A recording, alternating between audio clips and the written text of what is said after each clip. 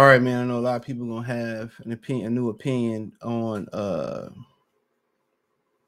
Tyson Fury after he had a, a questionable or close decision with Francis Ngannou. Let's talk about it.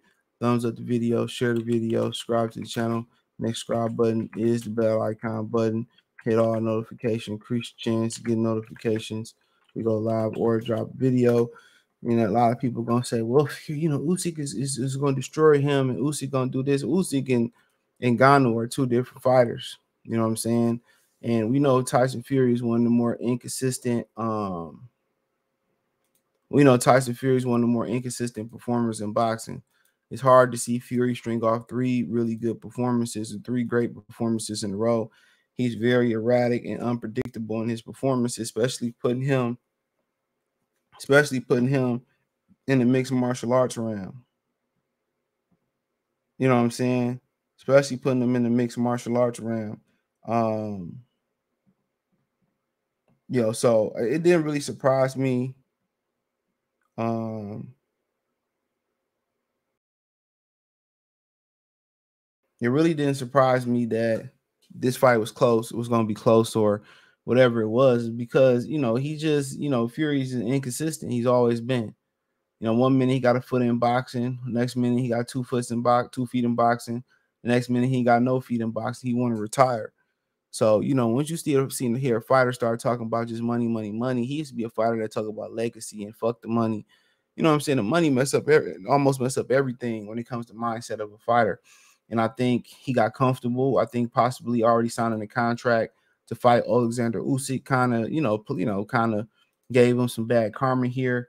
But um, you know, I, I just think you got to erase what you've seen here with uh Fury and Ngannou going into the Usyk fight, unless there is some injury that we don't know about. Now, apparently Usyk ain't hundred percent, and he kind of said that in the video I did based on the article that I read. He basically saying he'll be all right. He's still training every day.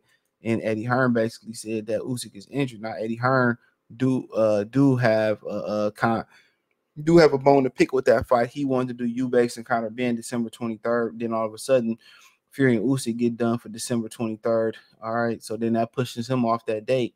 Um, so then now he got to push his fight back to January. But you know, Usyk did kind of admit that he does have some injuries going on right now, but he's willing to work through the injuries from the Daniel Dubois fight. But this don't really change my opinion on um this really don't change my opinion on um Usyk and Fury. You know, this was a play-play fight. I think maybe uh Fury didn't take it uh serious and didn't take Ngannou serious or whatever it may be. But this is for undisputed, and I think he's ties or breaks Muhammad Ali record uh for a lineal or for regaining or you know gaining the lineal title over again. So um that's something to look at that's something to look at. So, you know, that's one thing to look at that uh you know, they gain and Then you gotta remember too, the uh you gotta remember too that you know uh, it wasn't no real fight. Even if Fury lost, he wouldn't, you know, he wouldn't have lost anything. So, you know, when you you got undisputed on the line, I think Fury come back bigger, better, stronger. I think you're gonna see a different types of Fury just based off the series of the fight. He also kind of showed, you know, you know, been disrespecting Alexander Usyk, saying he was on PED, saying saying that he's a blown up heavyweight and all that type of stuff. So, um, you know, uh, you know, um, and, and kind of been seeming real kind of feminine, emotional towards Alexander Usyk. You know what I'm saying? So, uh, you know, but it's just a different thing. I mean, Ngannou probably outweigh Usyk by what? By by probably by 50, 40 or 50 pounds. So that's just a different animal. That weight matters when you get up there. That's why they got weight classes. You know what I'm saying? That's why they got weight classes. So uh they just two different people. I think Ngannou got longer reach. You know, I think Ngannou got longer reach in the whole the whole nine. So, you know, just because, you know, uh Fury struggled versus Ngannou and uh don't mean that Usyk will struggle versus Ngannou. You know, styles make fights. You know, and don't mean Fury won't beat Alexander Usyk. So, boxing is boxing. You can't really go by the by by parallels. You know what I'm saying? You can't cross match up. You can't do none of that.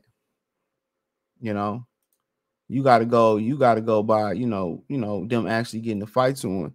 And just because Alexander, you know, just because Francis Ngannou had a bunch of success in the exhibition, doesn't mean that Tyson Fury wouldn't have a bunch of, you know, don't mean Usyk would. Now I know a lot of people already say, well, Usyk will kill him, Usyk will do this and do that. Well, I was saying that from the beginning. One of the issues with Tyson Fury being six nine, six eight, whatever he is, he can't see the punches coming from a lot of those shorter opponents. And I think when I first started to see that and process it, it was versus Otto Wallin and Otto Wallin was crutching down on his back on his back leg. he was springing forward and tearing Tyson Fury ass up. That's another performance in which he got the benefit of the doubt. You know, it's another performance he got the benefit of the doubt in. And Ngannou was doing the same thing. Ngannou was crouching down, and Ngannou, was, you know, uh crouching down, and, and Ngannou was, you know, kind of hiding his punches and popping up, and Fury couldn't see them shots coming from below him. So Fury struggle versus shorter heavyweights, guys that's you know eye to eye with him, he dominates him. And I noticed that. Remember, Steve Cunningham dropped him with an overhand left or right, whatever it was, overhand right. He can't see them punch. He can't see them punches coming. You know, he can't see them punches coming. So, you know, don't it didn't really it didn't really surprise me.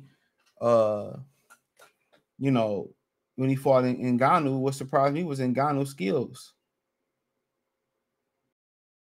That's what surprised me was Ngannou's skills. You know, so I, I was I was I was I was greatly surprised by his skill set. But you know, just because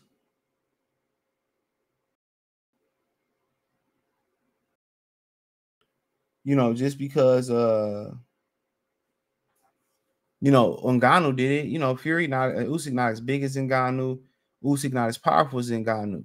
So just because Ngannou did it don't mean and he not a, a, real true professional fighter, don't mean that, you know, um Tyson and don't mean that Usyk is gonna to do it.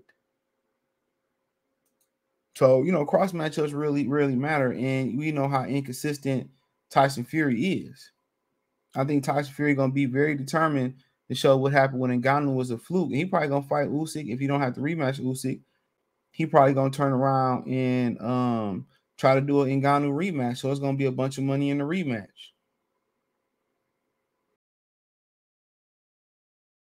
You know, he probably gonna try to do a bunch of money at the end for the rematch. So we'll see.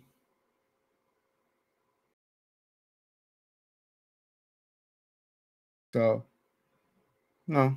But uh, but yeah, I don't think it's gonna have any bearing on Usyk. As long as Fury didn't get injured or anything like that, um,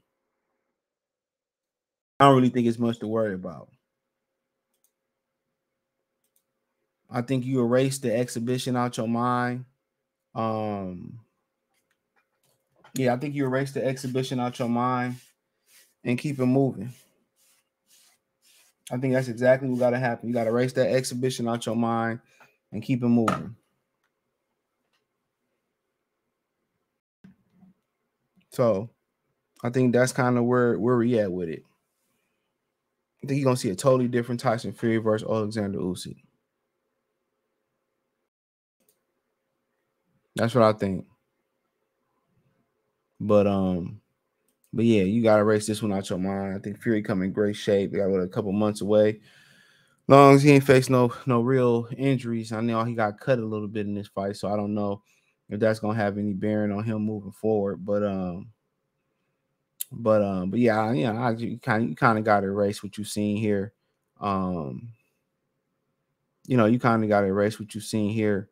Um, So that's my whole thing about it. I'd erase what you kind of seen here, and um, I think you're gonna turn around and get one of the best Tyson Furies that you can find.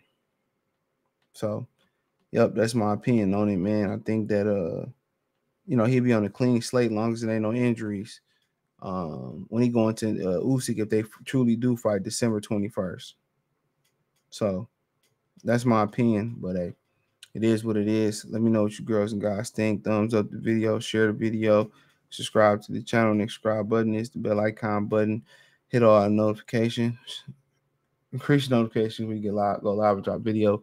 Financially one support the channel. Cash App, dollar sign, CJ Good 313, Venmo, CJ Good 313, PayPal link in description. All that's in the link tree. Also, in the link tree, you can find us on Apple Podcasts, Google Podcasts, Spotify, Anchor, um, Twitch, Instagram, Kick, uh, the whole nine. Don't forget check out my new channel, Free Game 89, FR33 Game 89. That link's in the link tree in the description. Check out my Detroit channel, Mercy Sports Talk. That link is in the description and in the link tree. Appreciate the love, support. Peace.